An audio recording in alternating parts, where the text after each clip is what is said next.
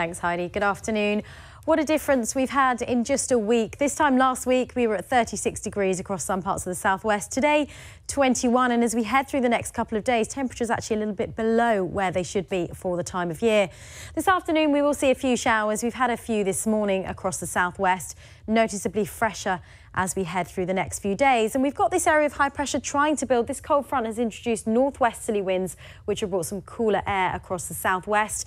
We will see that high building tomorrow, so lighter winds, perhaps more sunshine as well, and fewer showers. And that high does continue to build into Wednesday, but we'll see a lot more clouds starting to drift in to the southwest on Wednesday, perhaps a few showers as well towards the end of the day.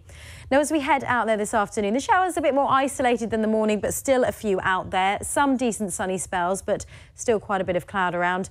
Northwesterly winds, we could see gusts of 30, perhaps 40 miles an hour at times. So fairly blustery, but in the sunshine, highs of 22 degrees. The showers eventually dying away overnight. I think we'll see a fair amount of cloud in the west, further east some clear skies, lighter winds as well and a fresher night than we've been used to.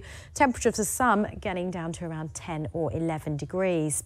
So there will be some cloud about tomorrow, one or two isolated showers, but not as many showers as today. The bulk of the cloud will start to clear into the afternoon, lighter winds as well, so more sunshine. I think it is going to be a really nice afternoon tomorrow across the southwest, perhaps a little bit warmer than today as well, where you have got the sunshine highs of 23 degrees. A fair few showers for the Channel Islands and most of the showers will die away overnight tonight, although there will be a fair amount of cloud.